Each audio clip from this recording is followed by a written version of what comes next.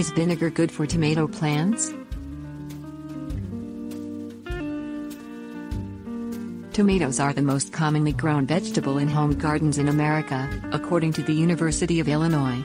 Because tomatoes are naturally acidic, vinegar can be used as a natural fungicide as well as a fertilizer on these tasty and nutritious plants. Function Vinegar is a natural substance that has a wide variety of uses. It is acidic, but not toxic, which means it is safe to consume. For that reason, it can be used on edible as well as non edible plants without harming them, as long as it is used in moderation and diluted with water. Fungicide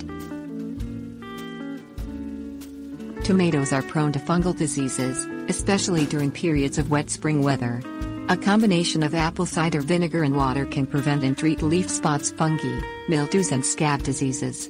Combine 3 tablespoons of cider vinegar with 1 gallon of water. Put the solution into a spray bottle and spray your tomato plants every morning. Fertilizer Fertilize your tomatoes with a mixture of water, ammonia and vinegar. Combine 1 cup ammonia with 2 cups of white distilled vinegar, then add it to 5 gallons of water.